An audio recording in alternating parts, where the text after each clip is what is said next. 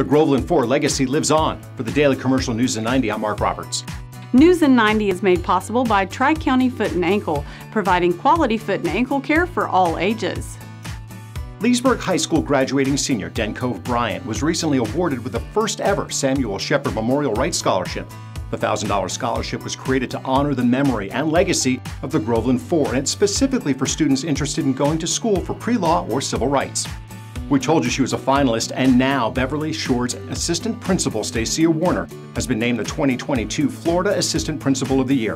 Previously at Treadway Elementary, Werner was appointed to the Beverly Shores Assistant Principal position in 2019. The Lake County Library System is offering a free summer reading program for children, teens, and adults.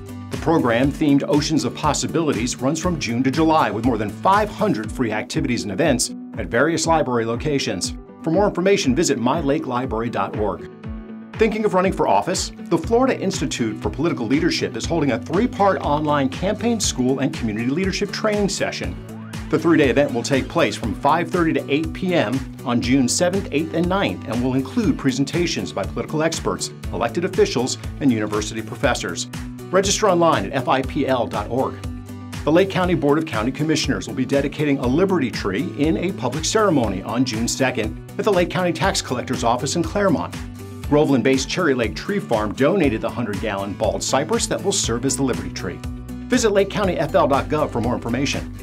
Popular Leesburg staple, the Brick and Barrel Restaurant, will be expanding with a second location this summer. Planning for a June opening, this location will be on Magnolia Avenue in Eustis.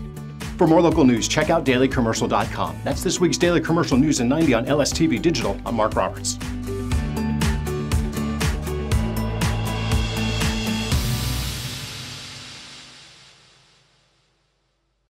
I had an appointment at Tri-County. Dr. Warshaw, he came in, he had me walk up and down a couple of times and said, yeah, you've got drop foot. He says, you trip a lot. So he explained what he was going to do, and it was a brace that they could use. With the brace on, I can go anywhere, I can do anything, I can walk forever. I take the dogs for walks.